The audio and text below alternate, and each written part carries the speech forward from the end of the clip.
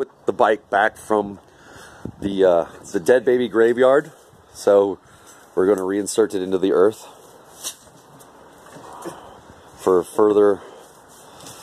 You know, Coley, if you ever want to visit her, there she will be, and there will be others right next to her.